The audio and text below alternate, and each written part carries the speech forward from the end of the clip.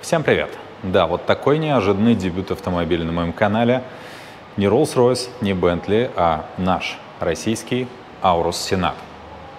Честно, я сам не ожидал, что будет возможность оценить этот автомобиль для вас, но вот получится возможность показать его максимально подробно, в деталях, как это обычно и происходит, поэтому готовьтесь, ролик будет не коротким уж точно. В двух словах, что из себя представляет Aurus Senat? На данный момент это лимузин представительского класса, наверное, максимальное, высочайшего из того, что только может быть, конкурирующий в прямую очередь с Rolls-Royce Ghost и, возможно, с Mercedes Maybach в какой-то степени, но самый близкий из возможных конкурентов это именно Rolls-Royce Ghost. Объясню почему. Потому что, ну, мало того, что они, конечно, внешне очень сильно похожи, но здесь куда ближе концепция. Концепция большого представительского седана, имеющего мощный двигатель под капотом, имеющего очень высочайший уровень отделки, комфорта, оснащения и прочего, и при этом на полном приводе. Полный привод – одна из ключевых особенностей Aurus Senat, потому что автомобиль оснащается V-образной восьмеркой под капотом 4,4 литра, бензиновый двигатель, выдающий 598 лошадиных сил и дополнительно 62 лошадиные силы добавляет электромотор, который расположен между двигателем и девятиступенчатой коробкой передач. То есть суммарно это получается свыше 600 сил, и в целом этого хватает автомобилю, чтобы в текущем исполнении в стандартной версии Senat при массе автомобиля в 2,7 тонны разгоняться за 6 секунд до сотни. Конечно, гоняться на этом автомобиле вряд ли кто-то будет, но с точки зрения запаса мощности под педалью газа это должно быть более чем достаточно. Коробка передач, к слову, КТ, то есть разработанная именно в России. Это не какой-то там 8ZF или еще что-то, заимствованное у других автопроизводителей. Это именно российская разработка, девятиступенчатая коробка, которая может переваривать до 1000 ньютон-метров крутящего момента. И в целом одно из интересных концептуальных э, элементов данной коробки передач – это отсутствие гидротрансформатора. Тоже такая вот необычная особенность. Возможно, это частично э, произошло по причине как раз-таки наличия электромотора между двигателем и коробкой передач. Возвращаясь к самому двигателю, как и сказал, 598 сил, само собой разработать такого рода двигатель внутреннего сгорания, да еще и гибридный, без применения каких-либо сторонних сил практически невозможно. Поэтому всю эту установку помогали разрабатывать компания Porsche и компания Bosch. И я думаю, что с точки зрения характеристик и возможности сомневаться ну, в этом двигателе не приходится, хотя, конечно, надо испытывать, надо тестировать, надо смотреть с течением большого времени, как это все себя продемонстрирует и покажет. Данная силовая установка будет доступна абсолютно для любой версии Senat и для будущих моделей линейки Aurus, потому что одним лишь стандартным седаном, конечно, линейка этих автомобилей не ограничится. Ожидается в свободной продаже в будущем кроссовер достаточно крупный. Насчет э, версии минивэна, которая сейчас используется уже в данный момент э, в президентском кортеже, ничего не известно. Будет он продаваться вот так вот массово или нет, я не знаю, но думаю, что большого интереса к нему не будет на фоне наличия все-таки полноценного огромного кроссовера, устроенного так же, как и Senat. Относительно самой же модели Senat, даже сейчас уже насчитывается 5 модификаций. То есть есть у нас обычная версия, представленная перед вами, в максимальной комплектации, по сути, в единственной комплектации стоимостью около 24 миллионов рублей.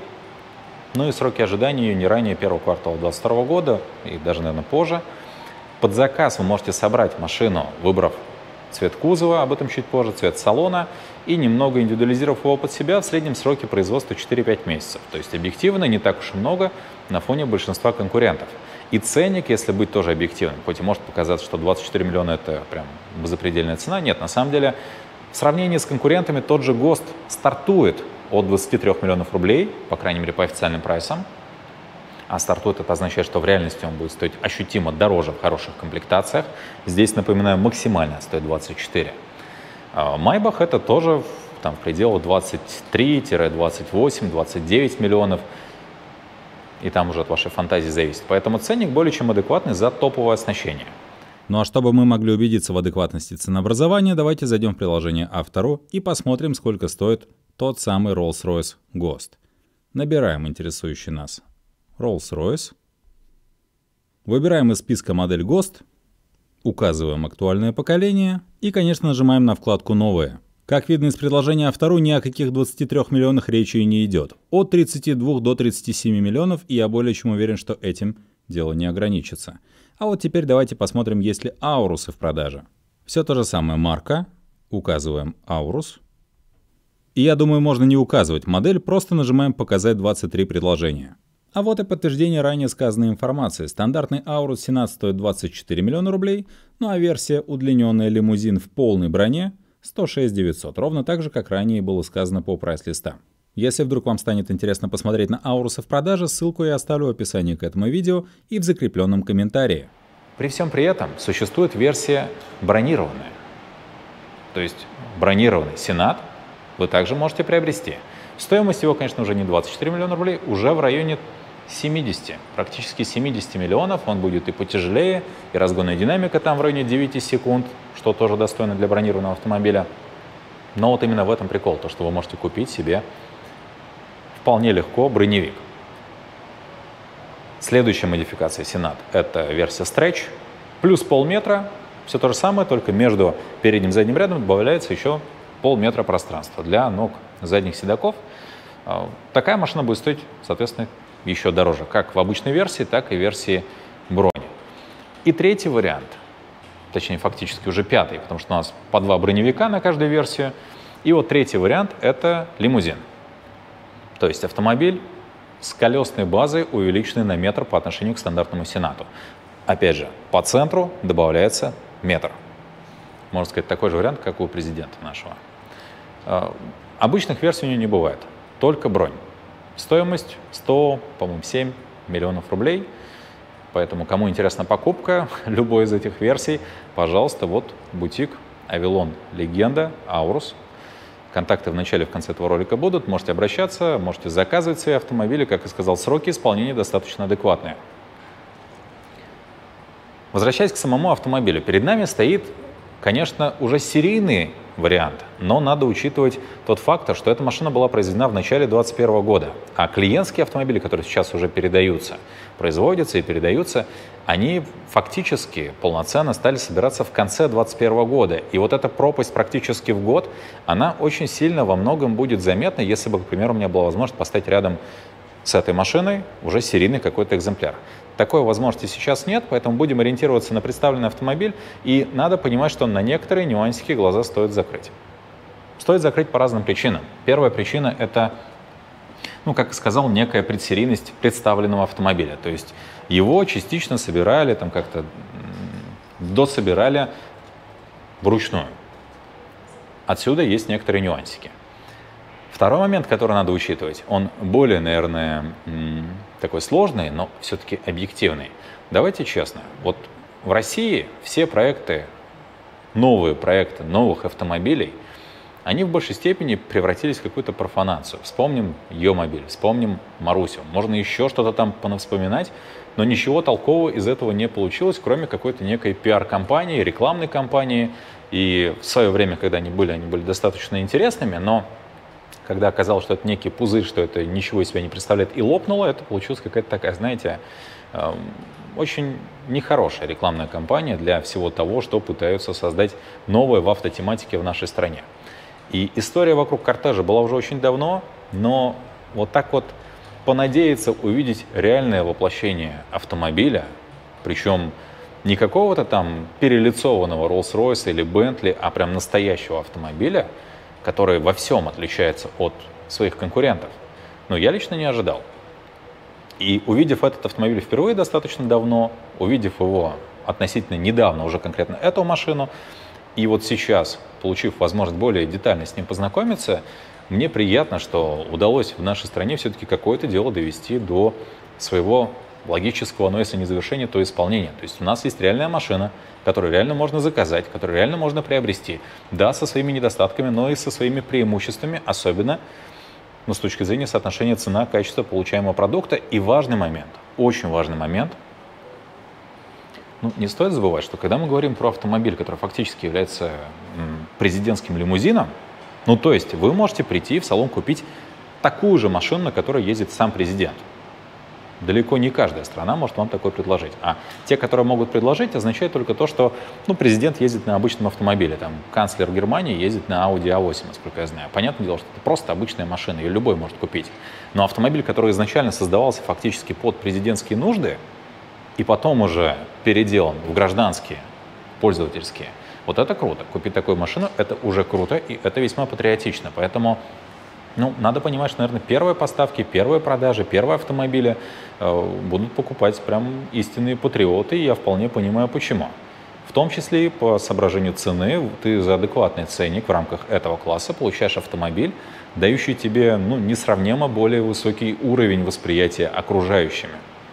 Ты можешь купить себе Rolls-Royce за 50 миллионов, ты можешь купить себе Maybach за 30 миллионов, ты можешь купить себе любой другой автомобиль, но Аурус все равно в этой толпе будет смотреться особенно, просто особенно, просто эксклюзивно, потому что ну как так, президентский лимузин. Вот это круто. Давайте знакомиться ближе. Дизайн. Дизайн экстерьера, да, надо, наверное, отдать должное, это, конечно, Rolls-Royce. Это очень во многом автомобиль, который похож на Rolls-Royce, но не стоит думать, что это просто копирка, как делают, к примеру, китайцы, когда они с линейкой обмерили машину и что-то там похожее слепили, и ты вроде смотришь вроде Rolls-Royce, но на самом деле нет. Здесь скорее требования класса, требования статуса, требования общего восприятия, они привели к тому, что автомобиль имеет схожую стилистику, но при личном восприятии, при личной встрече ты понимаешь, что габаритно, пропорционально и по исполнению не сильно отличаются. Они отличаются еще и по ну, металлическому воплощению. Совсем разные по своему устройству, об этом ближе к концу ролика еще расскажу, по материалам пройдемся. Стоя рядом с этой машиной, у тебя такие же ощущения, как и не от ГОСТа, нет, а как от Фантома. По какой-то причине эта машина ближе к Фантому. То есть, когда ты стоишь рядом с Rolls-Royce Phantom, у тебя ощущение, что это некий кроссовер, что это внедорожник в исполнении седан. То же самое есть и здесь, и тому способствуют колеса довольно крупные, 255-50 5 R20. Одноширокий спереди и сзади, слегка с полными дисками вот такой стилистики. А, Незамысловатый, но, может быть, в будущем что-то еще появится. Тому способствуют гигантские пропорции, в том числе и дверей. И в большей степени тому способствует дорожный просвет 20 сантиметров. То есть, можно сказать, полноценный внедорожный просвет. Это видно и по заднему бамперу, и под э, колесной базой, и, соответственно, передний свес, он тоже достаточно компактный, то есть автомобиль реально огромный. И, как и сказал, по этой причине никакой Майбах рядом с ним даже смотреться не будет. Только Фантом, только топ. А у Фантома задний привод, полного привода нет. То есть уже есть некое конкурентное преимущество дополнительное, помимо ценника, помимо полного привода, еще и габаритно по восприятию самой машины. Мне понравилось, как исполнили решетку радиатора, потому что первые утечки, первые шпионские фотографии, они выглядели, ну, так, конечно, любителя. То есть там что-то вроде интересное, но э, без какой-то харизмы, без собственного восприятия дизайна. То, что сделали сейчас, выглядит красиво и при этом выглядит очень элегантно. Аналогично можно сказать и про боковые секции с хромированными вставками, такие вот S-образные, заходящие немножко на бампера. Линию хромовую, проходящую по нижнему контуру дверей, и по заднему бамперу, но это в большей степени, наверное, дань классу. То есть обычно в этом классе автомобилей ну, всегда есть обилие хромовых накладок, хромовых деталей, обрамление оконной линии, накладка на крышке багажника в хроме. То есть это просто обязательные атрибуты, без которых ну, абсолютно никак. Были у меня опасения в отношении головной оптики. То есть тоже сделать какой-то узнаваемый стиль, интересный, красивый, современный, не так-то и просто. Сегодня, когда светодиодные технологии позволяют тебе сделать все, что угодно, и этот дизайн может перекликаться, может быть похож на кого-то, и в том числе на тот же самый Rolls-Royce. Вот здесь и да, и нет. Может быть, кто-то узнает в этом схожие линии фар модели Phantom. Вот такое вот Т-образное обрамление, оно чем-то похоже. Но дизайн ходовых огней, а это фактически главный элемент восприятия образа автомобиля, плюс строение самой фары, в Роллсе она более утопленная, хромовое внутреннее, не внешнее, а именно внутреннее хромовое обрамление фары. И в целом вот эти линии, поворотники, они ну, позволили добиться какого-то своего узнаваемого стиля. В сочетании с нижней вновь секцией, в сочетании с решеткой радиатора получилось неплохо. Одно только, чего мне лично здесь не хватает, но это, наверное, даже хорошо, что его здесь нет, это какого-либо, знаете, там шильдика на капоте торчащего, как на манеру того же Роллса. Будь он здесь, тогда можно было бы говорить, что это прям просто взяли, концептуально скопировали. К счастью, этого делать не стали, ограничились своим довольно сдержанным стилем. И вот по шильдику Аурус на самом деле есть очень логичное объяснение и самого названия, и его строения. Ну, во-первых, Аурус, то есть Аурум – золото, и Рус – Россия, понятное дело. Еще второй вариант расшифровки, который также легитимен, это аура. Ну, то есть некоторая аура, атмосфера, вот общее восприятие, ну и опять же Россия. А факт того, что здесь золото, оно как раз-таки отразилось в обрамлении, окантовке самого этого шильдика. И шильдик, он исполнен в виде некого такого геральдического щита, что можно ассоциировать с безопасностью, с защитой, а, а это как раз и есть фактически президентский автомобиль. И концептуально, и учитывая наличие бронированных версий, ну, вписывается очень-очень хорошо, в том числе и в версии кроссоверов, и в будущих других автомобилей. Ну, то есть неплохо подумали. Нравится, когда есть и дизайн, и какие-то прочие элементы, над которыми думают. Вот мне такие элементы всегда очень-очень сильно цеплялись. Решетка радиатора исполнена в виде длинных вертикальных хромированных ламелей, без каких-либо активных жалюзи, там просто за ними стоит радиатор. В нижней секции расположена номерная табличка, и очень, на мой взгляд, неплохо она вписалась и в решетку радиатора, в ее обрамление, и в целом передок автомобиля. То есть нет того, что мы имеем, к примеру, в актуальной четвертой серии BMW, когда номер просто портит общее восприятие автомобиля. Здесь вот так аккуратненько, удачненько он вписался. Боковые секции, как вы видите, они настоящие, то есть там не просто дизайн, а это реально воздуховоды, за ними реально расположены огромные, вот прям огромнейшие радиаторы, что некоторые М-автомобили могут им позавидовать. А в самом низу светодиодные противотуманки. Вот, наверное, только к их расположению есть некоторые вопросы, потому что, да, с точки зрения тумана, нижнее расположение противотуманок — это хорошо. С точки зрения живучести время только покажет, насколько это ну, хорошее и правильное решение. Парктроники. 6 штук, то есть чтобы максимально точно отражали картину впереди и сзади автомобиля. Есть омыватели фар высокого давления. Брызгвички, кстати, стоят уже, передние и задние. Зеркала расположены в виде ножек на самой двери. При всем при этом никаких отдельных там треугольничков не сделано. То есть зеркало перенесли на дверь, соответственно, для обзорности это хорошо, добавляется здесь место видимости. А при этом в плане дизайна тоже смотрится аккуратно, красиво. Зеркала имеют повторители поворотников и имеют встроенные камеры широкоугольного обзора. 360 градусов. Тоже постараюсь их вам показать. Ручки дверей с небольшими хромовыми обрамлениями, с бесключевым доступом. И двери, конечно же, имеют доводчики открытия-закрытия. Аналогично по задней части. Обрамление оконной линии здесь, да, можно сказать, что как у конкурента прямого, как у Rolls-Royce, и стилистика схожа, и расширение к задней части тоже выполнено в аналогичном стиле. Можно ли машину в этом упрекнуть? При том, что это как бы некие, ну, уже устоявшиеся традиции класса вот таких огромных представительских автомобилей. Я бы, наверное, не стал упрекать. Просто удачное, правильное, корректное заимствование. Лючок бензобака Уж не знаю, насколько это его серийное исполнение с такими вот болтами, но будем надеяться, что все-таки это некий предсерийный вариант. 98-й. Минимально 98-й, ну и предупреждает выключить зажигание перед заправкой. Вполне логичные требования безопасности. Задняя часть. Стилистика задней части, вот здесь прям классика. То есть у нас вся оконная линия, она не спадает к фонарям. То же самое касается и крыши крышка багажника приплюснута.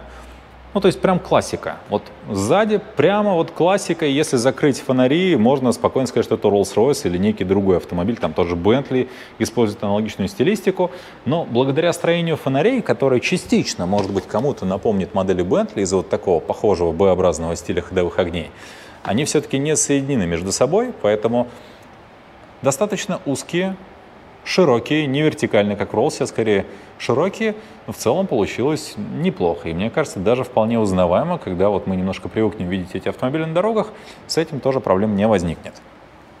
Патрубки выходной системы интегрированы в бампер, то есть вот эти металлические они, настоящие металлические накладки, они встроены в бампер, а там внутри торчит труба с одной и с другой стороны. Сзади раз, два, три, четыре, пять парктроников – Интересно, не 6, а 5.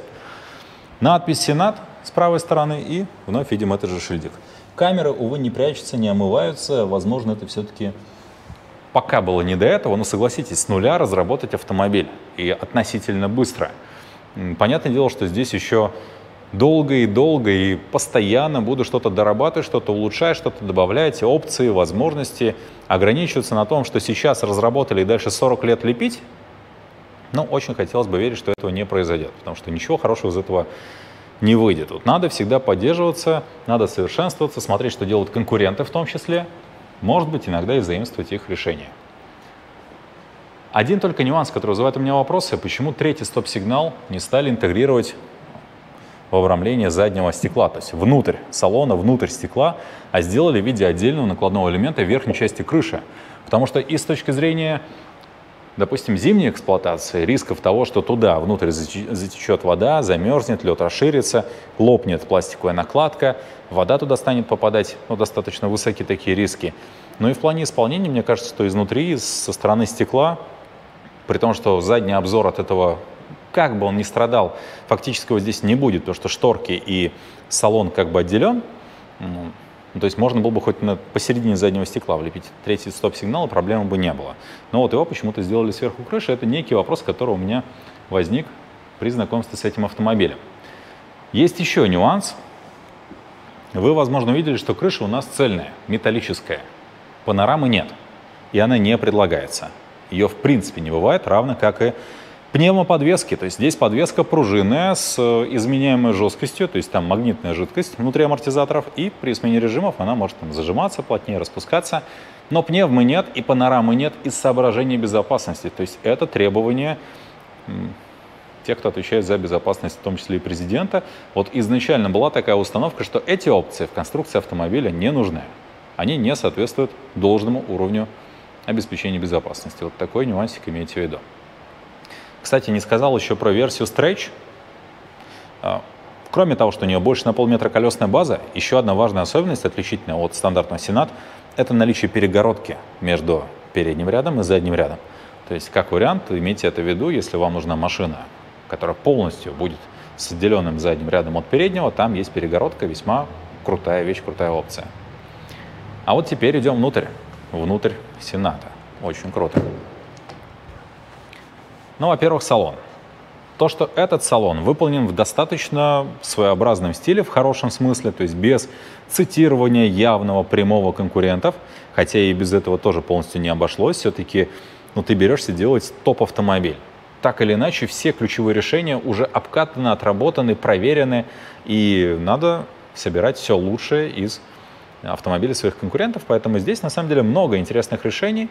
Я, пожалуй, зациклюсь на да нет, я, я зациклюсь, как и всегда, на всем. То есть что-то отдельно мы не обойдем, но сейчас начнем пока с э, дверной карты, как и всегда.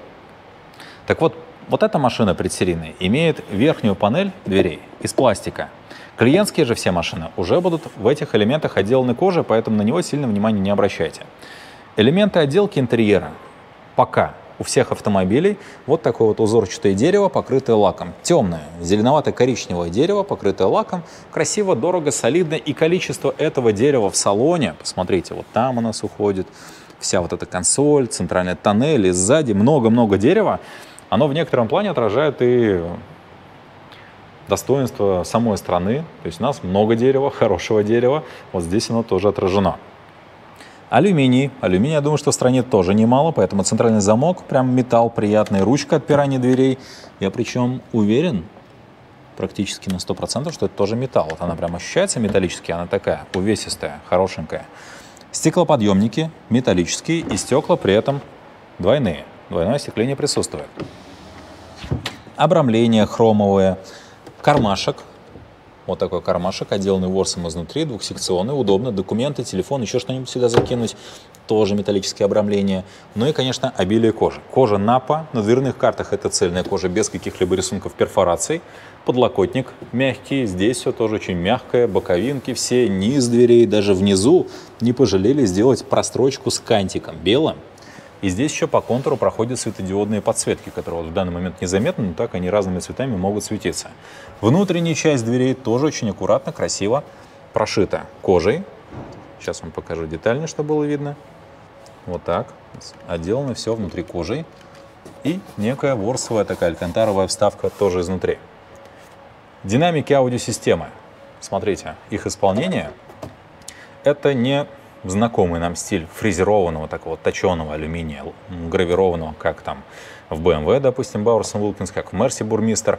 Здесь свое некое иное исполнение. Это металл, плетеной сеткой, крупной сеткой. То есть сделано, с одной стороны, грубовато, но есть ощущение, что именно в этой грубости и э, был заложен какой-то свой смысл, свой интерес, потому что выглядит интересно, выглядит вполне красиво. Может быть, в будущем все-таки дополнят какими-нибудь необычными там, подсветками, дизайнерскими решениями, но вот в данный момент это несет тоже некое отражение концепции самого автомобиля и страны в целом. То есть есть некоторая, знаете, такая добротность, солидность, грубоватость. Тут это присутствует. Ухватистая ручка, за которую вы, соответственно, закрываете дверь, и внутри нее расположен такой, типа, знаете, маленький коврик, чем-то похожий по стилистике на Луи Виттон, там, Дольче Габбана и так далее. Красиво. Просто красиво. Я думаю, что покупатели, знакомые с этими брендами, оценят. Клавиша открытия багажника и блокировка ну, судя по всему, задних дверей. От детей, причем нарисован ребенок. То есть автомобиль вполне себе как бы и такой, знаете, универсальный семейный. Кстати, стилистика дверной карты, вот эта линия чем-то вновь тоже напоминает Rolls-Royce. Ну, понятное дело, что тоже самое лучшее здесь автомобиль вобрал в себя. Эти элементы, вот тут все, низ, это не пластик, это кожа. Везде кожа напа, плашечки Сенат, ворс, включая высокий ворс на коврах и кожаные кантики по самим коврам. Площадка, вот эта площадка, единственное, что пластик, а педальный узел металл с резиновыми вставками, ну и напольная педаль газа. Кстати, обращаю, вни... обращаю внимание, а, коленный airbag, то есть для передних, э, переднего водителя предусмотрен коленный airbag. Стойки в коже, потолок, стойки и потолок далее перетекают у нас уже в алькантару. Сиденье сиденье похоже на ну, достаточно многих конкурентов. К примеру, коленная опора мне лично напоминает Audi. Она должна как-то регулироваться, это надо, видимо, садиться в настройках копаться. Сейчас мы зажигание подактивируем. Так, с этим, я надеюсь, еще разберемся.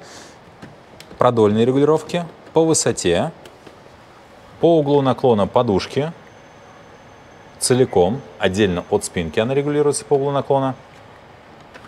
Угол наклона спинки, угол наклона верхней части спины вот этим регулятором, именно верхняя часть спины на манер, как у нас BMW, опять же, лопатки регулируются, то же самое здесь. И подголовник тоже имеет регулировку по высоте электропривода. Насчет настроек боковинок, ну, надо будет, видимо, покопаться в э, меню.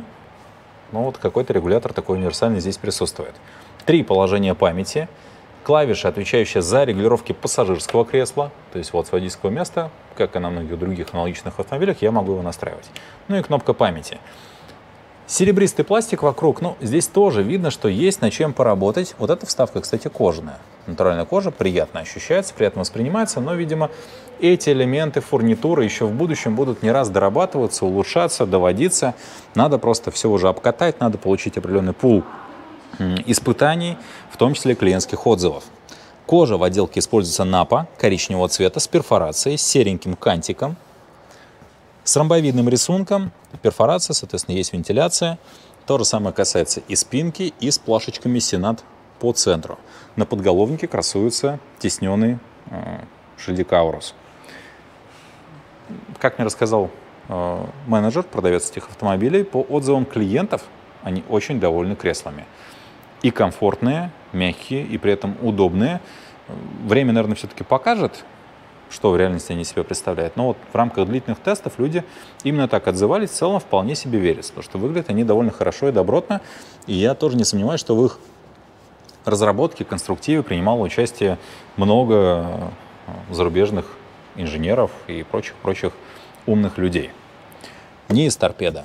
В коже центральный тоннель. В коже какие-то элементы отделки интерьера могут отличаться на серийных машинах. То есть где-то еще может попадаться относительно простенький пластик, а в серийных машинах уже будет он либо лучшего качества, либо кожа натуральная. Поэтому, как и говорил в начале, сильно придираться к этой машине все-таки не стоит. Блок управления светом. На фоне всего остального, вот как раз он выглядит чутка. Вот прям чуть-чуть простовато. Туманки передние, задние. А, это у нас некая, видимо, сигнализация, яркость подсветки всех лампочек в салоне и, собственно, регулятор выбора режима работы света. Автоматический, ходовые огни, габариты, ближний свет. А внизу что там у нас? Туда никак не переключается. Ну, видимо, это просто какая-то индикация. Конечно, будь он исполнен в виде крутилочки с дисплеем на манер переключателя режима движения, было бы вообще классно, но либо это с течением времени произойдет, либо, либо вот так останется. Регулировка рулевой колонки по высоте и по вылету. Так, ну это, видимо, все. По ощущениям, диапазон регулировки по вылету небольшой. Надо будет, конечно, сесть, примериться, но вот пока такие восприятия у меня есть обогрев руля, крутилочка, отвечающая за э, дефлектор обдува, точно так же, как у большинства своих аналогов, конкурентов, их можно убрать, но может быть, конечно, исполнение чуть-чуть пластиковое, такое, знаете, попроще. Сами дефлекторы направляются в разные стороны, между собой соединены вот такой вот шайбой, необычное дизайнерское решение, как минимум, выглядит интересно. Интересно и в целом вполне себе симпатично. Но вот диапазон вертикальной регулировки по восприятию не очень большой, хотя вряд ли это тоже будет сильно критично. Окей, садимся. Есть один, ну, такой вот нюанс, который, наверное, в будущем хотелось бы, чтобы поправили, но пока с этим, увы, ничего не поделать. И касается это, на самом деле, как водителя, так и переднего, так и задних пассажиров. Это двери. Двери шикарные, удобные. Кстати, забыл показать вам. Ну, во-первых, дверь открывается на огромный угол, не 90 градусов, но прям очень близко. Во-вторых, фиксируется в любом положении. Помните, в семерке в кузове F01, F02 была такая фишка, ты открываешь дверь на любой угол, и все, она зафиксирована. Даже ветер ее никак не сдует, то есть там специальный механизм. То же самое здесь. Вот, хочешь, можешь на такой угол открыть, и она зафиксировалась крутое решение. То же самое касается задних дверей. Понятное дело, что везде у нас шумоизоляция, все эти вот уплотнители. По контуру низа дверей тоже уплотнители, прикрывающие пороги, чтобы они оставались чистыми. Но, когда ты уже сел, и тебе надо закрыть дверь, как и в любом другом автомобиле, конечно, ты тянешься к этой ручке и закрываешь дверь. И дальше ее подхватывает доводчик и закрывает. Но все-таки в таком классе уже принято решение с электроприводами. Rolls-Royce этим активно пользуется. Я думаю, что за ними, в принципе, будущее, когда ты нажимаешь кнопочку, и дверь сама прикрывается. И передняя, и задняя. Хотелось бы в будущих изменениях, опционаля, комплектации увидеть электроприводы дверей. Ну, прям необходимая штука, особенно учитывая их вес. Я уж э, боюсь предположить, как вся эта история будет работать с броневиками, у которых двери еще тяжелее. Но даже здесь надо прям прикладывать усилия. Кстати, загорелись подсветки вот там внутри. И здесь у нас проходит диодная подсветочка. С точки зрения линии самих подсветок выглядит красиво. Выглядит достаточно изящно, симпатично. Сейчас вам подсветку салона свою выключу, чтобы было видно. Ну, то есть без заморочек, относительно простые линии, но разные цвета и в целом их наличие вполне подтягивают этот интерьер до необходимого современного уровня. Немного подстрою кресло под свои параметры.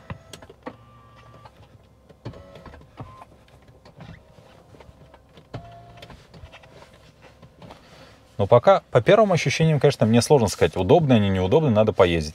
Хотя бы сколько-то, хотя бы полчаса или час, что было понятнее, но вроде как по рулевой колонке особо вопросов у меня к ее вылету нет. Руль. Руль, на который обратили внимание еще когда впервые показали Аурус, действительно красивый. Кто-то, может быть, увидит некоторые цитаты с мерсовскими рулями в виде вот этой вот нижней секции утолченной. Мне кажется, что все же это просто, опять же, удачное либо заимствование, либо совпадение может быть. Но то, что выглядит он солидно, без третьей спицы, это сто процентов. Шильдик Сенат красиво выглядит. Кожа приятная, такая вот волк напа, гладенькая. Не хватает спортивного хвата, но это и не спортивный автомобиль, чтобы он здесь был металлизированные клавиши управления круизом, лимитатором, дистанция регулируется, активный круиз с поддержанием дистанции. Единственное, что нет функций подруливания, там, пробочного ассистента, тоже над этим, видимо, в будущем будут еще работать. На правой спице переключение треков, регулировка громкости, ответы на вызовы и сброс вызовов, голосовые команды. В общем, традиционный набор мультифункций. Подушка в коже и шильдик Аурус, правда, здесь уже без золота. Почему? Не знаю. Золото здесь смотрелось бы тоже неплохо. Все в коже, тоже кожа. И здесь, по-моему, сзади, вот тут непонятно, здесь, наверное, все-таки пластик, это тоже пластик. Если затянуть еще и рулевую колонку в кожу, было бы вообще отлично. Подрулевые рычажки. Звук. Такой прикольный, как будто, знаете, э, по деревяшечке стучат. Но вновь соответствует немножко образу автомобиля. Сами рычажки выполнены красиво, вполне красиво, учитывая, что это автомобиль как бы абсолютно новый, новая разработка, но при этом серийный, не какой-то концепт. Клавиша вот тут сбоку, она отвечает за, видимо, какие-то ассистенты предупреждения сходе с полосы. И у нас есть контроль слепых зон, вот там внизу зеркал, специальная секция. Поворотники, да, имеют функцию троекратного моргания. Соответственно, вот дальним достаточно активно моргает машина. Справа управление дворниками, включая интервальный режим, омывание лобового стекла. Ну, вот что касается дворников, конечно, они такие прям простые. То есть они не создают ощущение массивности, увесистости, вот такой крепости, которая есть в целом от автомобиля. Может быть, тоже в будущем что-то по ним еще изменится, не знаю. Комбинация приборов красивая. Как минимум красивая. На экране вот сейчас у вас через камеру, может показаться, что они чуть блеклые, вживую нет. Вполне себе достаточно хорошо они смотрятся. Надо, видимо, проверять, конечно, еще на солнце, не, не теряются ли они, там, не бликуют ли сильно. Но вся поверхность а, двух мониторов, во-первых, она между собой объединена, то есть это единая поверхность, нет какого-либо перехода, вставки, прорези. Во-вторых, она такая матовая, прям матовая, матовая, чтобы не было явных бликов, явных блесков. Но тоже над этим, видимо, старались и работали. Приятно. Что из себя представляет комбинация приборов? Справа тахометр с обратным ходом, но в целом, по мне, ничего страшного там нет, тем более, что и в BMW сейчас нечто подобное. Размеченный до 8000 оборотов, красная зона с 6000. Э, цифры вполне себе читабельные, нет каких-то лишних рисочек. Красиво, нормально, аккуратно. То же самое спидометр уже с привычным ходом. По 20 километров он нарезан до 100 км в час, далее 140, 180, ну, то есть дальше уже по 40 идут прибавка до 260. Внутри, по центру, расположен спидометр цифровой. По его окружности запас топлива, в правой части текущая передача и по окружности температура охлаждающей жидкости. Всевозможные индикации, там, состояние автомобиля, система аварийного торможения и так далее, это вот по центру. В верхней части аккуратно наружная температура, справа часы, внизу какие-то индикационные лампочки, запас хода. Ну, то есть видно, что над приборкой работали действительно грамотные инженеры, дизайнеры, те, кто понимают, как это должно быть устроено. Они вот, мы захотели так, мы сделали так. Красиво. И даже вот эти обрамления серебристые, они, ну, реализованы симпатично, нарисованы симпатично, выглядят как будто бы настоящие, но, конечно же, не настоящие. Так, а что у нас с управлением вот этой всей приборкой? Давайте-ка посмотрим. Так, написал мне Аурус он сейчас. Могу ли я там что-нибудь пролистнуть, перелистнуть? ТВ. Ага, это, видимо, источники менялись. ТНТ, Саша Таня, программы какие-то. Что еще здесь есть?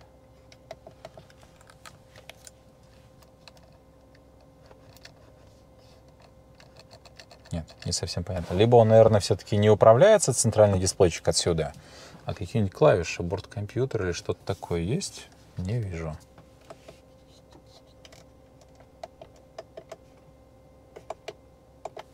Нет, видимо, с этим надо как-то еще подразобраться. Ну окей, ладно. Это оставим на какой-нибудь будущий обзор другого Сената.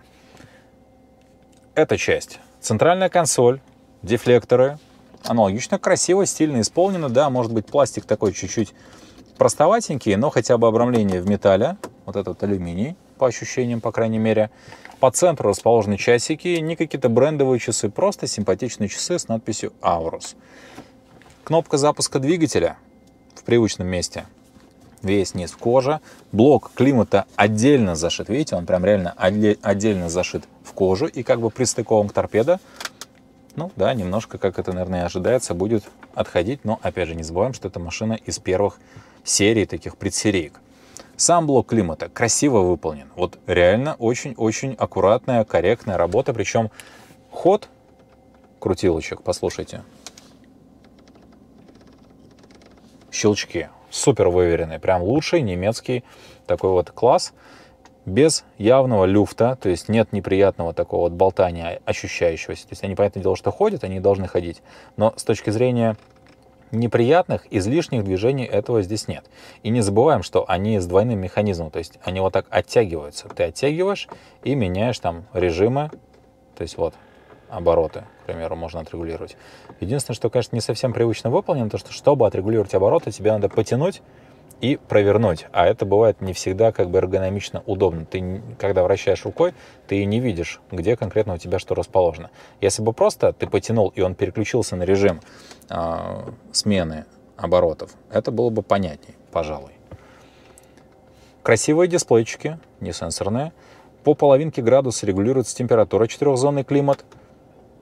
А, и, кстати, да, она еще и нажатием меняет режим работы переключается из авто в ручной.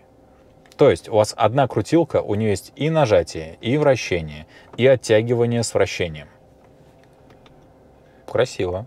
И прям я не, я не припомню кого-то из конкурентов, в принципе, в других брендах нечто подобное. Прям респект. За климат респект. То же самое касается и правой секции.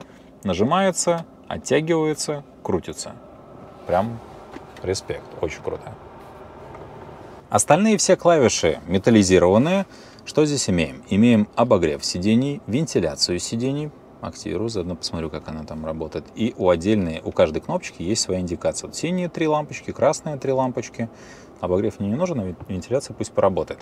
Направление обдува воздуха меняется, и когда вы его меняете, у вас выводится картинка здесь на дисплее. Но только, видите, вы как бы активируете изменение направления потоков, а меняете при помощи крутилки. То есть вот так вот вращая, он разные сочетания вам выводит на дисплее. Массаж. Так, массаж у меня заработал, но каких-то менюшек по массажу не появилось.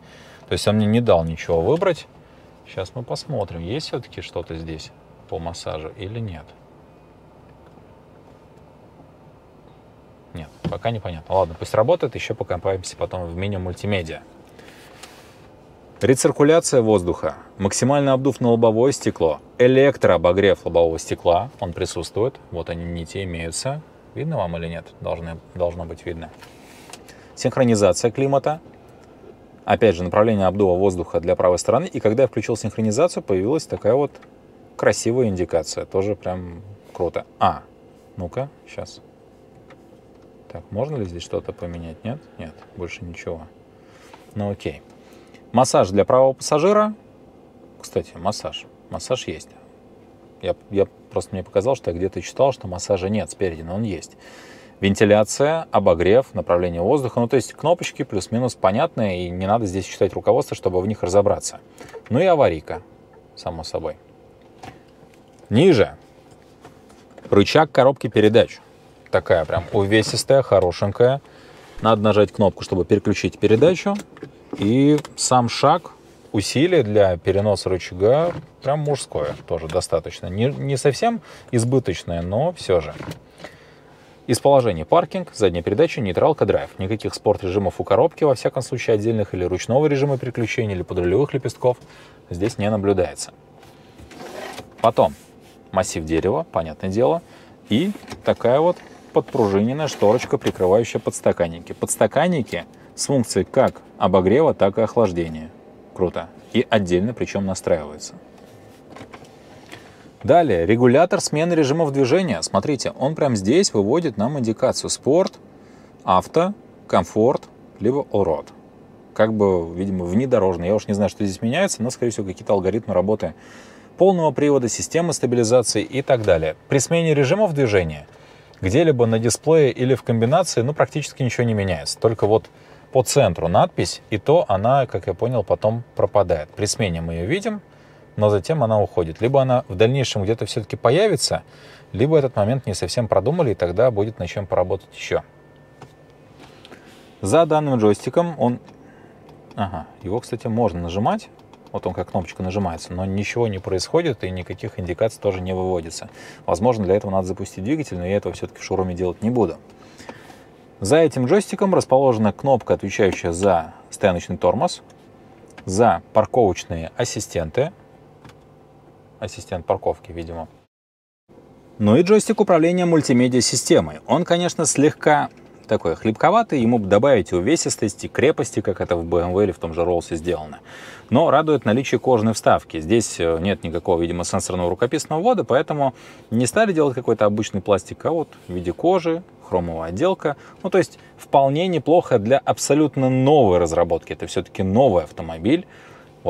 До него ничего не было. Поэтому с нуля это хорошо. В целом, я, я думаю, что можно похвалить. А там уже время покажет, они что-то да и поменяют, что-то добавят, изменят.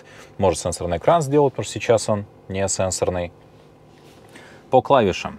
Меню, либо возврат, радио, медиа, карта, телефон. Привычный набор кнопок.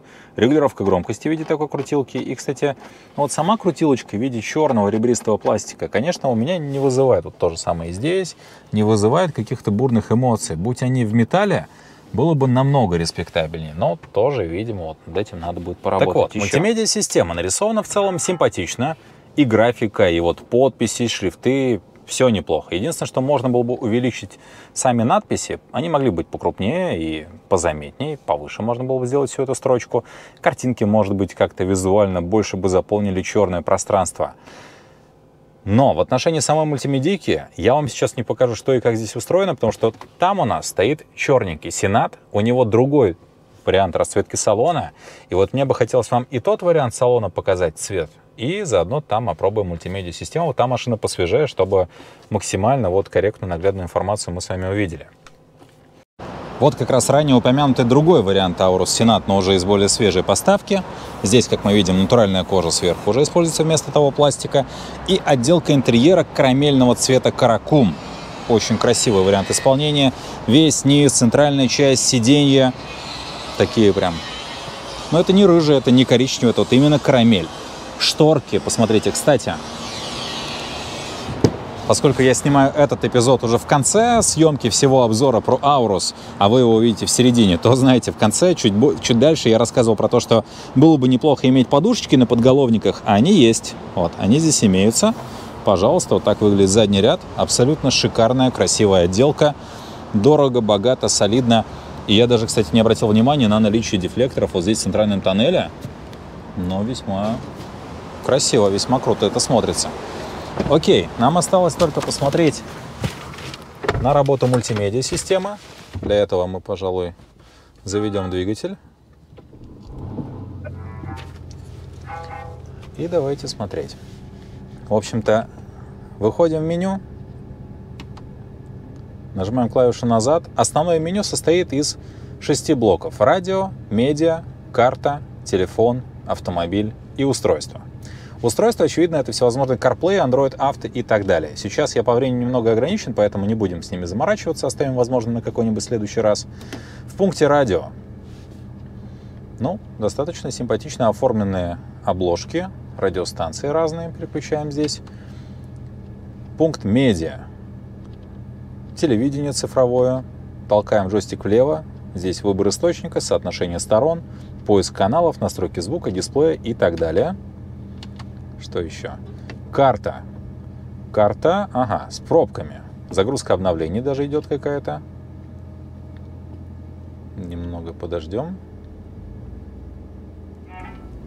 Кстати, все вот эти вот звуки, они словно такие, знаете, на скрипке исполнены. То есть тоже, видимо, некая фишка. Единственное, как бы мне убрать этот пункт, который мешается.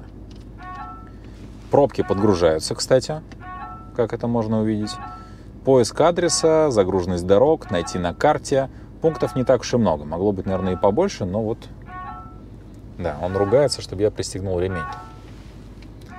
Окей. Да, пробки подгружаются, маршруты строятся, и в целом вроде как выглядит вполне адекватно, но я лично пользовался бы Яндекс Навигатором, а уж водителю будет точно виднее.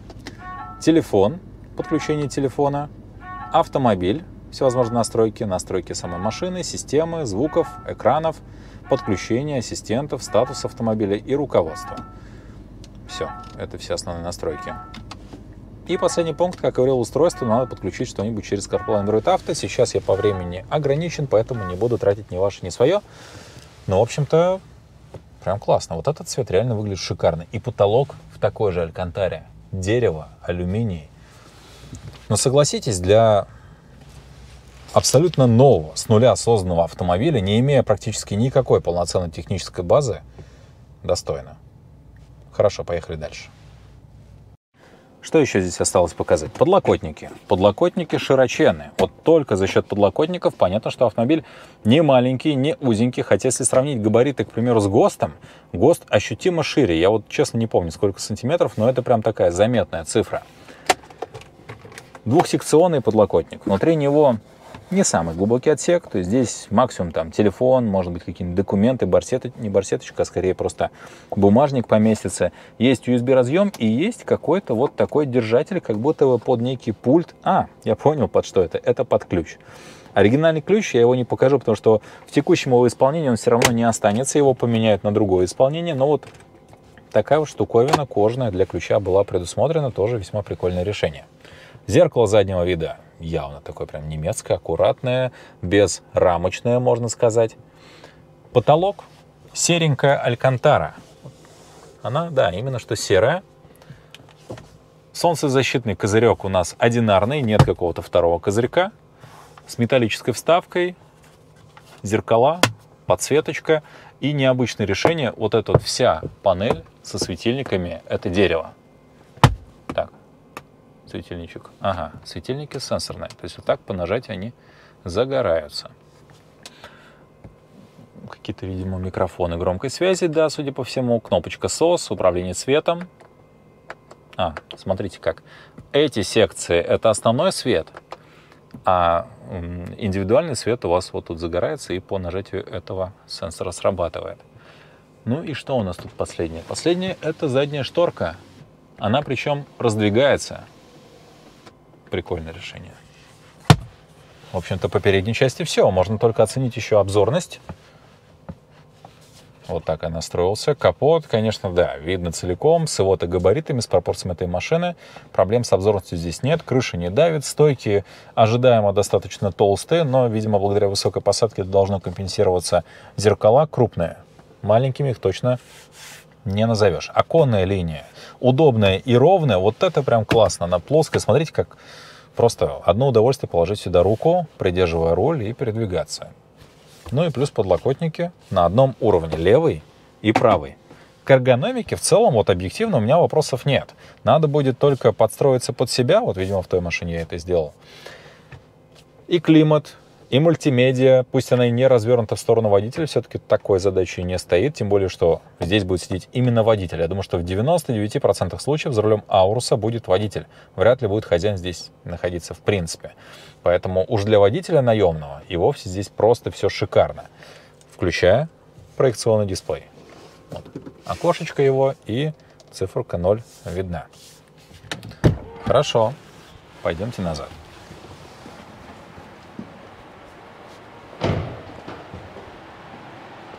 Пойду именно на правое кресло, потому что, ну, очевидно, здесь будет больше всего находиться ключевой пассажир. Кстати, в первую очередь обращаю ваше внимание на тот угол, на который открывается дверь. Потому что с точки зрения такого рода автомобилей, ну это не 90, опять же, градусов, но очень-очень близко. Большой угол открытия двери, большой сам дверной проем, точно так же открытый.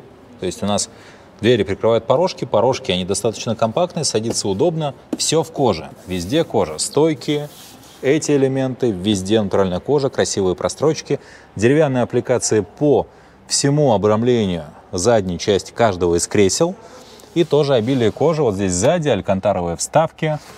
Так, это у нас что? А это не алькантар, это какая-то такая особенная, приятная достаточно ткань.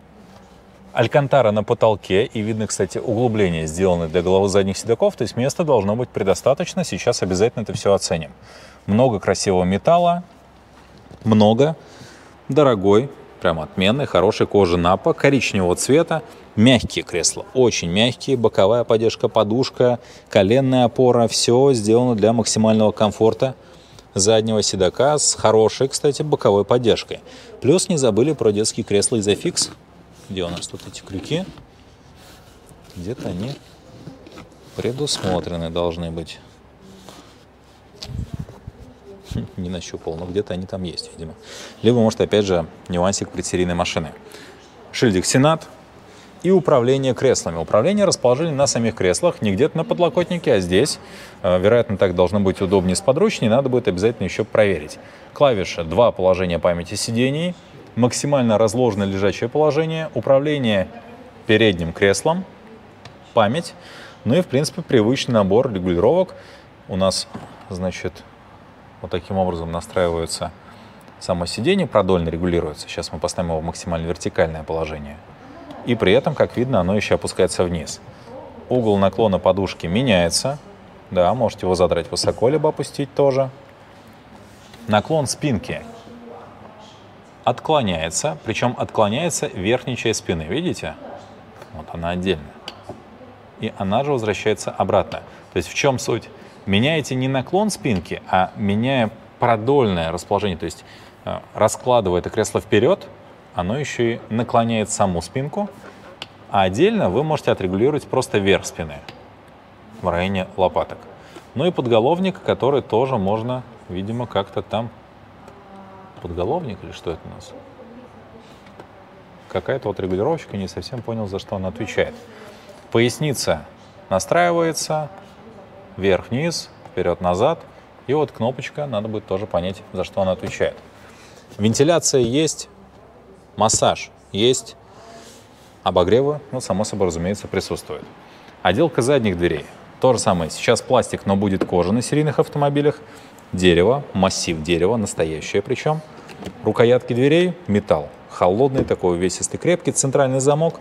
Карты идентичны передним дверям, то есть то же самое. Вот аккуратные кантики, прострочки, много кожи везде, абсолютно включая внутренние вот эти полости для каких-либо, допустим, э, бутылки с водой, к примеру. Кармашки открывающиеся, отделанные ворсом, тоже присутствуют. Мягкий подлокотник и стеклоподъемники. Управление левым, правым стеклоподъемником. Сами они имеют двойные стекла. Клавиша, отвечающая за заднюю шторку, и вот мне интересно, ага, я не сразу понял, как работают шторки, оказывается, вот как. То есть они электрифицированы и закрываются в бок, не вверх-вниз, а именно в бок, плюс там матерчатый материал, который вот такими складочками собирается. Единственный момент то, что текущее исполнение, вот такое одинарное, оно уже все, его можно сказать, что не существует, вместо него будет двойной материал, и может быть так, к примеру, что снаружи он в черном цвете, а изнутри он в цвет выбранного интерьера, выбранной отделки, ну, к примеру, вот серенький, как наш потолок. Я думаю, что будет смотреться очень красиво, пока ну, я лично такие автомобили не видел. Вот эта боковая шторка, она не открывается, то есть она всегда в таком закрытом положении, но максимум можно ее просто отодвинуть, но, видимо, такой вот момент. Что еще?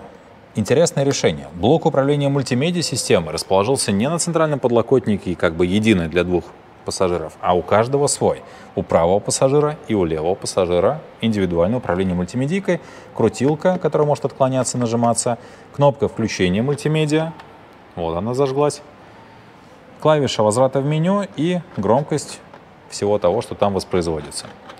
Динамики аудиосистемы в виде твиттера, среднечастотников и, соответственно, сабов, по всей видимости.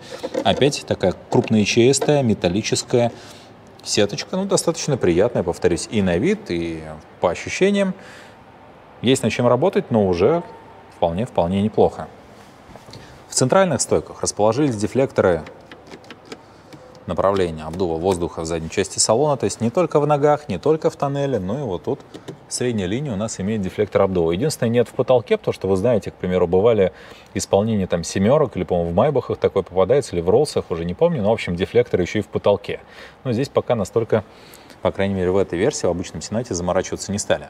Спинки отделаны, опять же, и сзади приятной кожей напа, хорошие добротные кармашки, их никак не перекашивают, они там не гнутся, не мнутся. И вновь деревянная аппликация по центру. Прикрываем дверь, закрываем шторки для максимального уюта. И вот теперь можно оценить комфорт на заднем ряду. Сейчас я сижу в таком, знаете, максимально вертикальном положении. Переднее кресло тоже, судя по водительскому, расположено в своем обычном классическом расположении, чтобы было комфортно, ну, допустим, охраннику там находиться. Если же его оттуда выгнать, можно нажать клавишу вот эту кнопочку максимально лежачего положения моего кресла. Единственное, может быть, для этого надо зажигание включить или, опять же, предсерийка, поэтому не срабатывает. Надо будет немножко поработать руками мне и разложить это кресло так, как мне будет комфортно усесться. То есть максимально лежачее положение. Сейчас его разложу. Отлично. Так, наклон спинки максимальный, подголовник максимальный. И сразу, наверное, стоит отодвинуть это кресло вперед, чтобы оно мне не мешало. Вот чтобы я мог полностью расслабиться, вытянуться. Рост у меня 175 сантиметров. Поднимаем его. Опять же, именно так достигается наибольшее пространство. И заодно видим, что там под передними креслами расположены сабы. То есть музыка должна быть, опять же, неплохой. Все. Теперь при росте 175 я не достаю ногами до кресла. Понятное дело, что перед коленями тут более чем приличный запас в ногах, даже в этой, можно сказать, самой простой короткой версии. Управление мультимедиа достигается посредством, как и говорил, крутящегося джойстика, поэтому можем смотреть телевизор, можем переключить каналы, цифровое телевидение, звезда, мир, пятница, Муз-ТВ. Ну, допустим, Муз-ТВ пусть будет. Вот она, Муз-ТВ. Если ничего не нажимать, у вас откроется картинка на весь экран. Кстати, экран сенсорный, нет? Нет, экран не сенсорный матовый, поэтому не сильно бликует, вот видно по боковому тоже. В отношении посадки, комфорта посадки и наклона спинки это уровень Майбаха. Это не семерка, это не обычный S-класс, там угол наклона меньше. Вот здесь именно угол наклона спинки это реально Майбах, а я даже попробовал на приложении на телефоне замерить сам угол спины, а, по моим наблюдениям, где-то на 2 градуса он даже в более лежачем положении, чем вот в текущем Майбахе. Надо, конечно, взять какие-нибудь более правильные измерительные приборы, но я думаю, что этой информации достаточно. То есть ты действительно здесь можешь расслабиться. Боковая поддержка неплохая, хорошо, в принципе, поддерживает. Подголовник достаточно мягкий. Может быть, добавить сюда какие-нибудь алькантаровые подушечки не помешало бы, как это сделано у большинства других представительских седанов. Но это так, опять же, перспектив, перспектива на будущее. Над головой в лежачем положении запас более чем достаточный, около 10 сантиметров. Имеются вот такие отделанные алькантарой зеркала с подсветкой, тоже металл, дерево, много дерева, плафоны освещения. А, смотрите, вообще в любой части металлического вот этого элемента могу прикоснуться, и он загорится. Не обязательно только там, где кнопка нарисована. Видимо, громкая связь или какая-нибудь там сигнализация. Управление общим светом. Ну и то же самое по левой части у пассажира. Имеется весьма неплохой по ширине и мягкий подлокотник – который можно открыть как вот нажатием основной клавиши, только внутреннюю часть, здесь, допустим, лежит телефон или там, опять же, бумажник, что-нибудь в этом духе, так и имеется отдельная небольшая клавиша, вот она, отвечающая уже за внутреннее убранство подлокотника, в котором расположилось два столика. Уровень Майбаха, опять же, там в семерке один столик, к примеру, идет. В S-классе по-моему, тоже два столика предлагается. Вот, честно, этого момента уже не помню. В общем-то, есть у нас выдвижной столик есть 12-вольтовая розетка, два USB разъема только для зарядки, написано Charge Only, и вот еще один дополнительный отсек для чего-либо. Прикрываем подлокотник, раскладываем этот столик, хороший механизм такой, знаете, без какой-либо болтанки лишней. То есть он не болтается никак, не дергается. Разложили, кожаная подставочка, положили ноутбук, работаете. Или просто как-нибудь там на него можно опереться целом хороший добротный столик. Конечно, в Майбахе он такой, по-моему, двухсекционный, если не ошибаюсь. Он крупнее. Но и на том спасибо, тем более, что их два. Это прям хорошо. Так, убираем это все обратно. Имеем площадку беспроводной зарядки, хоть и одну, но тоже весьма приятный. Он прям телефон будет лежать у тебя перед глазами, неплохо продумано. Блок управления климатом с теми же крутилками, с интегрированными дисплеями, с возможностью оттянуть и настроить обороты, и с включением авторежима посредством просто нажатия. Кнопки, отвечающие за вентиляцию, обогрев, массаж. Сейчас проверим, что за массаж здесь. Синхронизацию, рециркуляцию внутри салона и направление обдува воздуха. То есть тоже полноценная климатика, 4 зоны, свои, судя по всему, авторежимы для левой и для правой части. Отсюда выдвигаются подстаканники. Здесь слот с USB разъемами и для зарядки, и, видимо, для подключения. Видите, левый, правый для подключения к мультимедийке. 220-вольтовая розетка. Не факт, что она, конечно, вам понадобится, но с другой стороны может понадобиться, если у вас какой-нибудь ноутбук, требующий полноценный 220, чтобы быстрее его зарядить. Почему бы нет? Почему бы это не использовать? Дефлекторы, открытие-закрытие, то же самое нажимаются, вытаскиваются и регулируются. Деревянная планка и еще, кстати, вот впервые такое вижу, помимо основных дефлекторов, сверху имеются тоже две дополнительных, два таких канала, подающих воздух. В общем-то, такой уровень неплохой. Ручки на стойках отделаны хорошей кожей, ремни регулируются по высоте. Имеются крюки в потолке, чтобы пиджак какой-нибудь можно было зацепить. Ну и, естественно, аэрбэги, шторки. То же самое и здесь, все это предусмотрено. Обращаю внимание, что когда шторки закрыты, в отличие от большинства конкурентов, ну, то же самое S-класс, Майбах, допустим, благодаря конструкции шторок у вас практически не остается, вот надо чуть подрегулировать, не остается какого-либо открытого пространства, чтобы вас кто-то мог разглядеть. То есть здесь все закрыто, сзади абсолютная, абсолютно такая вот закрытость. То же самое, давайте сейчас мы прикроем пассажирскую шторку. И фактически остается только зона водителя. Только через лобовое стекло вас можно как-то увидеть. Но если возьмете версию Stretch, удлиненную, добавляется перегородка, и тогда все. Максимальная приватность. Неплохо, прям достойно. Я напоминаю, что мы говорим о российском лимузине абсолютно новой разработки. Пусть и с применением огромного количества крутых инженеров, но все равно мне лично очень приятно это наблюдать, что получился такой уровень э, не какого-нибудь китайского автомобиля, не японского. Японцы, опять же, в плане представительских седанов, им есть чему поучиться у нашего Ауруса. Это приятно. И в плане тех же немцев, ну, Rolls-Royce, ГОСТ, там не было, насколько я помню, такого наклона спинки. И все это за 24 миллиона. Объективно адекватный ценник для этого сегмента. Что еще мы имеем? Имеем холодильник, причем он такой на магнитах закрывается, вот такой холодильничек у нас. И отсек для фужеров, бокалов. Прям уровень, очень крутой уровень. Массаж тоже относится только к спинке. То есть фактически здесь э, камеры поясничной подпоры. Они там как-то регулируются, надуваются, сдуваются и все. То есть никакого сверхнаворота не будет, но и так неплохо. Действительно удобный, мягкий мягкий диван. Было бы классно взять такую машину на тест. Я бы жену посадил за руль и сзади бы катался, на ноуте что-нибудь бы здесь делал. Может, там видео редактировал или еще что-нибудь. Но неплохо. Не хочу даже выходить. Но надо.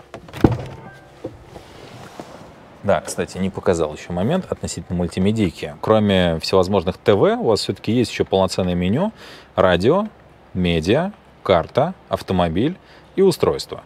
Устройство можно подключить какой-нибудь CarPlay Android Auto, автомобиль здесь мультимедиа, экраны, интерьер, руководство. Так, интерьер, что у нас интерьер? Кондиционер включить-выключить, стилевая подсветка, синхронизация стилевой подсветки. Ну да, не сильно много всего, но больше-то, наверное, и не нужно. Экраны. Экраны. Малая яркость настраивается, дата, время, отображение времени и так далее. Мне хочется посмотреть карту. Карта, вот она, Москва, Мне кажется, это Navitel. Вот я уже давно не видел Navitel, но мне кажется, это карта Navitel. И, кстати, карта достаточно хорошая. Вы можете поставить свою сим-карту и тогда получить доступ ко всевозможным онлайн-сервисам, и, вероятно, пробки тоже будут сюда подгружаться. Неплохо, очень неплохо. Кстати, подушечка еще идет. Интересно, это в подарок дают или это просто для демонстрации здесь лежит? Мне кажется, что могут даже в комплектацию входить эти подушки. Окей. Задние двери, кстати, то, что говорил, вот, они точно так же на любой угол могут быть зафиксированы багажник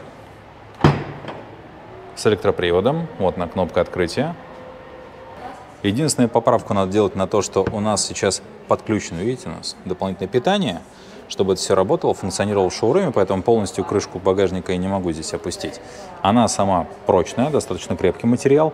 И в подполье, тоже открученная крышка, вот он силовой аккумулятор, отвечающий как раз-таки за гибридную установку. Что есть? Есть небольшие крюки, чтобы зацепить сеточку и зафиксировать грузы. Сбоку здесь какой-то вот карман. Ага. Это что такое? Аурус. Огнетушитель. Такой прям красивенький. Можно как аксессуар использовать. Буксировочно проушины, жилет светоотражающий и всевозможные там, видимо, домкраты, баллонные ключи, компрессоры и так далее. Все отделано приятным черным ворсом, диодные подсветки с одной и с другой стороны, 12-вольтовая розетка, Спинки, естественно, не складываются. Третий плафон освещения. Опять же, тут все отделано хорошим ворсом. Направляющие прикрыты пластиком. Все в пластике, ворс, ворс, прям материалы добротные для багажника и даже вот такие нормальные металлические клавиши. Казалось бы, в багажнике можно было бы обойтись и обычным пластиком, но не стали, к счастью, никак над этим экономить. Даже знак аварийной остановки Аурус в кожаном специальном чехле. Размеры багажника не маленькие. К слову, по моим ощущениям, очень похож на багажник, да в целом семерки. В семерке, как мне кажется, примерно такой же объем. Чего нет в семерке, но есть здесь в Аурусе, и есть, мне кажется, нет, точнее, у большинства конкурентов, это проема багажного. Посмотрите, вот эта секция, она действительно очень крупная и глубокая. То есть что-то сюда загрузить, чемодан ты просто кладешь фактически. Даже если там какая-то эксплуатация детского кресла или чего-то в этом духе, тоже коляски и прочее сюда без проблем могут поместиться. Багажник и, кстати, шикарный. важный момент, на который я не сразу обратил внимание, и вы, скорее всего, тоже не обратили внимания. Вот багажник, да, у него весьма приличный объем. А вы помните, что я вам показывал холодильник? А вы помните, как холодильник выглядит в той же, опять же, семерке, в S-классе, в А8, в гости в Rolls-Royce, честно, даже не помню сам. Но, по крайней мере, вот у тех трех ранее описанных автомобилей холодильник торчит в багажнике. Вот здесь прям по центру торчит. И если в той же седьмой серии его хотя бы можно отсоединить и вытащить, убрать вообще, чтобы использовать весь объем багажника, то в случае с S-классом новым он просто торчит по центру багажника, занимает половину его объема, и толком ты туда никаких чемоданов не положишь. Здесь у тебя нормальный, огромный багажный отсек, при том, что там есть холодильник, там есть все регулировки, и кресла раскладываются в лежачее положение. Все это благодаря длине кузова автомобиля, и фактически вот, вот тут есть такая, знаете, отдельная зона, наверное, такой толщины примерно, внутри которой все механизмы кресел, тот же холодильник и прочее, прочее расположены. Не слабое такое преимущество, хоть и не ключевое для покупателя представительского седана. Осталось только заглянуть под капот. Два раза, как в BMW.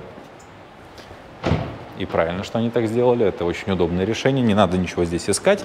Ты просто поднимаешь капот. Кстати, чтобы поднять капот, нужно иметь определенную силу. Капот нелегкий. Горлы на омывайке расположена удобно. Со стороны обочины, относительно далеко от кромки капота, от газового упора, то есть здесь вопросов нет. А в остальном вы ничего здесь и не увидите. Пластик, пластик, пластик. То есть двигатель под пластиковой крышкой, все там жидкости под пластиковыми крышками – какие-либо установки силовые, да вот практически ничего не видно, ну только обмотки какие-то теплозащитные, видимо, и все. Очень плотненько этот V8 сел внутрь подкапотного пространства. Сама подкапотка имеет свой контур уплотнения, она закрыта, грязь пуль туда не должна особо попадать. Шумоизоляция, трехточечные форсунки омывателей, только из запечатанной емкости. Вот тут написано, только DOT 4 запечатанной емкости. Какая-то жидкость туда подливается. Ну, то есть подкапотка особо от нее ждать ничего не стоило, но сделано, по крайней мере, очень аккуратно, грамотно. Вот шумоизоляция там довольно много использована. Неплохо. И еще один, кстати, контур уплотнения тут. Так, вроде закрылся. И вот теперь, пожалуй, можно сказать еще и про кузов. Кузов целиком стальной. Капот, крылья, двери, задние крылья, багажник, крыша, все остальное. Я ранее проверил э, магнитом, сейчас не смогу показать, но поверьте мне на слово. И по этой причине машина весит 2,7 тонны. Тот же самый Rolls-Royce, если мне память не изменяет, он, по-моему, весь алюминиевый должен быть. Вот весь прям алюминиевый, то есть крылатый металл. Там задача сделать автомобиль богатый, укомплектованный, при этом динамичный, при этом экономичный. Цели у Rolls-Royce немножко иные – по этой причине тот автомобиль использует крылатый металл. Я не думаю, что у Российской Федерации или у производителя Аурус есть проблемы с тем, чтобы достать алюминий и как-то его использовать в производстве кузова автомобиля. Скорее всего, это вновь некое требование, которое было выставлено к самому автомобилю. Все-таки мы говорим о не просто представительском автомобиле, а фактически о президентском. То есть некий статус, уровень защиты, уровень безопасности, уровень изготовление и как бы характер автомобиля подразумевает то, что он должен быть максимально цельный, крепкий, прям вот такой, вытащенный из куска металла и, видимо, из куска стали. Поэтому над вопросами экономичности, наверное, сильно не заморачивались. По крайней мере, вот в направлении веса автомобиля вообще не заморачивались. 2,7 тонны. Хотя это не так уж и много, но все же Rolls весит, по-моему, килограмм на 200 меньше при большей ширине кузова. Этот автомобиль должен восприниматься как некий монолит и снаружи, и внутри. И это как статус самого бренда, так и статус Российской Федерации, потому что сейчас фактически вот так вот глобально именно Аурус является лицом России. Тем, что мы можем, тем, что мы можем собрать, сделать, разработать, произвести и продавать весьма крутой продукт. И несмотря на те огрехи, которые вы могли здесь наблюдать э, по ходу данного обзора, объективности ради надо все-таки согласиться, что сделать подобную машину с нуля, это нужно очень много средств, очень много грамотных инженеров, грамотных маркетологов, в общем, много-много грамотных людей собрать воедино и довести дело до конца, и довести дело до продаж, до серийного производства, что именно сейчас и началось. По мне результат крутой. Будем надеяться, что этот автомобиль не ограничится вот в текущем своем исполнении Сената, все-таки появится и кроссовер, и тогда я смогу вам его тоже, надеюсь, показать. Будем надеяться, что будут добавляться какие-то опции, возможности, индивидуализации. И, кстати, да, я обещал, и, видимо, сейчас все-таки надо это сделать, покажу. Бегло, быстренько. Для тех, возможно, потенциальных покупателей, кто будет смотреть этот ролик, вот здесь в шоуруме Ауруса есть специальная витрина с материалами, с расцветками, материалами. Стоит отметить, что большая часть из них пока что условно представлена. Основная линейка, вот заказывая автомобиль, у вас есть выбор в шести цветах. Бежевый, белый, серебристый, темно-серый, синий и черный. Возможно, в будущем, но это требует, видимо, определенной отладки, наладки. В общем, есть над чем еще поработать, но, возможно, в будущем появятся и другие цвета. К примеру, какие-либо матовые оттенки или вот такие вот красные рубины, там чуть ли не сиренево-фиолетовый цвет, зеленый. Кстати, вот эти три цвета прям шикарно, даже четыре. Просто шикарно подошли бы автомобилю. Впрочем, и медный, и карамельный смотрелся бы отлично вообще. Вот только голубой, не знаю, сколько хорошо бы смотрелся. Но, в общем, есть над чем работать. Но уже из этих цветов вы можете заказать себе, выбрать автомобиль. Интерьерные планки пока только одно лакированное дерево. В будущем обещают все-таки такие матовые варианты с открытыми порами. Я бы, пожалуй, предпочел вот это матовое дерево, чем-то напоминающее мне карельскую березу. Хотя вот оттенок у карельской березы все-таки светлее. И было бы логично карельскую березу в первую очередь добавить варианты отделки, потому что Audi A8, я помню, предлагала такие исполнения. Audi, немецкий бренд с карельской березой уж Аурус точно должен сделать такое предложение в первую очередь. Ну и вариант отделки кожей. Кожа, как я говорил, напа. Вот на белое, бежевое, каракум, по-моему, цвет такой карамельный, коричневый, как в представленном автомобиле, и черный с перфорацией. Аналогичная кожа в использовании других э, элементов отделки интерьера. Этот цвет пока недоступен. Алькантара в отделке потолка, ну и еще один вариант с перфорацией, просто другого исполнения. То есть с одной стороны, вроде как не такой уж и богатый ассортимент для автомобиля, претендующего на некоторую индивидуальность и эксклюзивность. С другой стороны, это все-таки только начало, и в будущем все изменится. Всегда есть вариант заказать у дилера непосредственно индивидуализацию салона автомобиля, его можно перешить, доработать как угодно. И даже по кузову, несмотря на то, что палитра цветов пока что слегка ограничена, вы у дилера можете заказать либо окраску автомобиля, к примеру, двойную, двуцветную окраску, такие исполнения уже встречались, либо более простой вариант – оклейку. То есть можно часть автомобиля оклеить в другой цвет, сначала обычная пленка, потом антигравийная защитная пленка, надежно, крепко, красиво, почему бы и нет. Все эти варианты, опять же, доступны вот здесь, Aurus Avalon. Если кому-то интересна покупка, всегда можете обращаться, контакты, как говорил в начале и в конце этого видео. Ну, а надеюсь, вам понравился ролик, понравилось все, что я показал, детально рассказал. Если есть какие-то пожелания на возможные будущие съемки других аурусов, потому что есть и другие цвета, и другие салоны, если такие появятся, может быть, еще сниму, пишите обязательно в комментариях. А так, всем, кто поставил лайк и досмотрел, спасибо и пока.